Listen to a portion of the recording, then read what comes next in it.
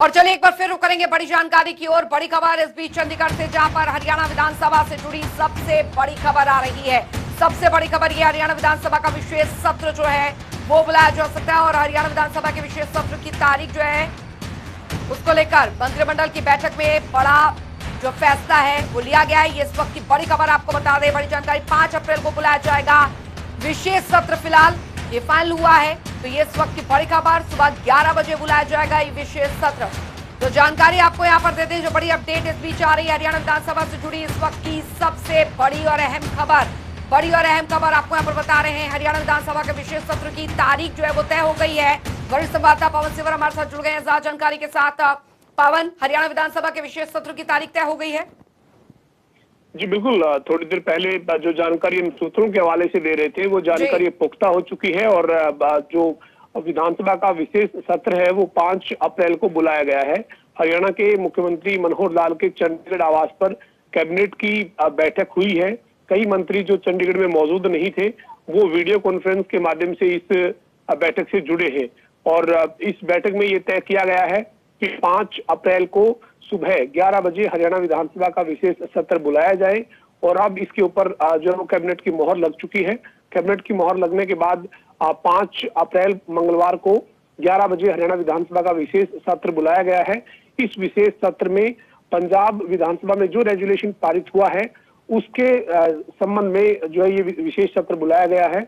और इस विशेष सत्र में जो एस का मुद्दा है या फिर चंडीगढ़ पर हरियाणा के हक का राजधानी के नाते का जो मुद्दा है या जो हरियाणा पंजाब के बीच के जो अन्य अंतर्राज्य मुद्दे हैं, उन तमाम मुद्दों के ऊपर जो है वो चर्चा होगी, प्रस्ताव जो है वो पारित किया जाएगा। जी। हम्म।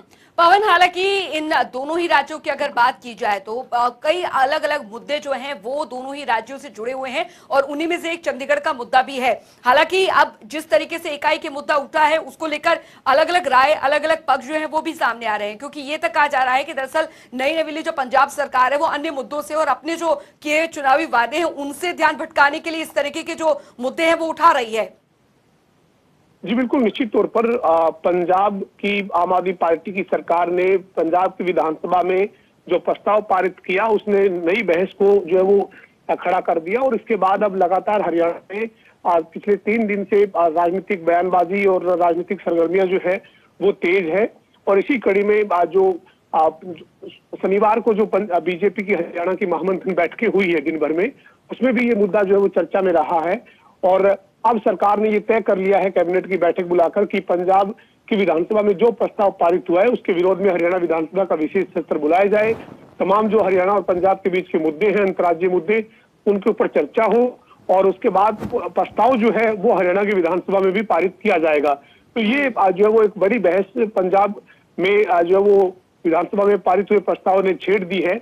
और हरियाणा के नेता जो है, वो बीजेपी के नेता ये कह रहे हैं कि पंजाब में आम आदमी पार्टी जो है, वो जिन वायदों के साथ सत्ता में आई है, उन वायदों को पूरा नहीं कर पा रही है और इसीलिए ध्यान भटकाने के लिए इस तरीके के मुद्दे जो है, वो सामने रख रही है ताकि लोग जो है जी। चलिए लगता है संपर्क टूट गया बहुत बहुत शुक्रिया पवन इस तमाम जानकारी के लिए। तो ज़ाहिर तौर पर विशेष सत्र का जो तारीख है वो तय यहाँ पर हो गई। मंत्रिमंडल की बैठक में फ़िलहाल ये फैसला लिया गया है और ये जानकारी पुख्ता तौर पर निकल कर आ चुकी है कि पाँच अप्रैल को ये विशेष सत्र जो है वो बुलाया जाएगा। हरियाणा विधानसभा का सुबह ग्यारह बजे ये विशेष सत्र बुलाया जाएगा। तो आपको बता दें पंजाब विधानसभा में चंडीगढ़ को लेकर जो पास हुए रेजोल्यूशन को, को लेकर अब हरियाणा विधानसभा का विशेष सत्र जो है वो भी बुलाया गया है। और कल भी बैठकों का दौर जो चला था उसमें भी इस इन मुद्दों को लेकर चर्चा की गई थी। निंदा जो प्रस्ताव है वो यहाँ पर रखा गया था कि चंडीगढ़ जो कि चंडीगढ़ का मुद्दा जो कि पंजाब द्वारा उठाया जा रहा है, पंजाब सरकार द्वारा उठाया जा रहा है, वो निंदनीय है, क्योंकि ये हरियाणा और पंजाब दोनों का हिस्सा है चंडीगढ़। तो इस तरीके से अपना दावा रखना चंडीगढ़ पर पंजाब द्वारा, ये गलत है।